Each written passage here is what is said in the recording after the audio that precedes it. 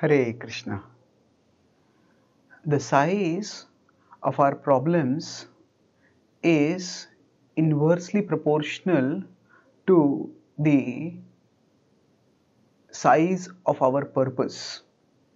The bigger our purpose, the smaller our problems become. Suppose a truck is moving fast on a road where a tree has fallen across the road. If the truck has sufficient momentum, it can just knock the tree aside and move on. But if there is a bicycle moving gently, then it will be blocked by the tree. So, similarly, during our life journey, we often face obstacles which are like trees fallen on the road of our life. Now, when we face such problems, how do we respond to them? Sometimes, when we interact with people, they keep going on and on talking about things that we feel are small, and we wonder why are they making such a big why are they making such a big fuss about such small things? Or they they have some grudges against someone, some issues, uh, and just they just can't let go. They don't, don't forgive and keep moving on. So what do we do? Actually, if to get out of ourselves, we need get out of our small problems. We need a purpose bigger than ourselves, bigger, uh, uh, as big as possible. So this means so the obstacles. It's mysterious that the size of the obstacles, size of the problems is not static and is not universal. The same problem may be seen as small by some people and huge by others.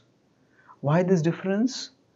It depends on what other things, uh, what is the backdrop of their life, uh, what is the overall perspective that they have that is shaped by their purpose. So, the bigger our purpose, suppose somebody is their goal of life is to the, the central enjoyment of life is watching movies uh, and then the electric power goes off. And they feel oh i can't watch a movie and they may even uh, smash the tv set in that in that uh, uh, because of that. Now if somebody has some bigger purpose in life say they are working to feed hungry people or to uh, to treat those who are desperately sick then uh, not being able to watch a movie might not matter much to them at all.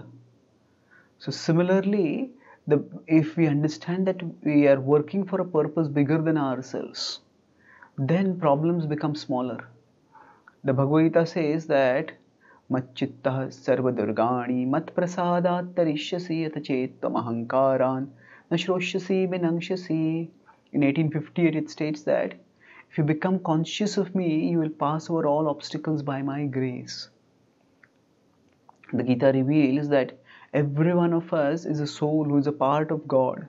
And by God's arrangement, each of us is meant to make some significant, worthwhile contribution externally and de- develop spiritually to go toward our spiritual evolution to attain life eternal.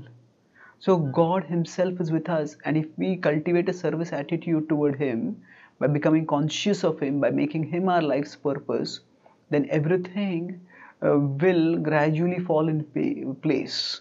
So He is bigger than the biggest problem that we face, and when our vision becomes fixed on Him, on His service, and we understand that we, uh, we as spiritual beings have survived many, many problems in this and previous lives, then we can persevere uh, across multiple lifetimes and ultimately attain uh, the uh, attain our life attain our life's destination. So the bigger our the bigger our purpose, uh, the smaller become our problems. And thus, rather than resenting about how big our problems are or resenting or lamenting about how big our problems are we can focus on cultivating a big enough purpose that will make those problems bearable. Thank you. Hare krishna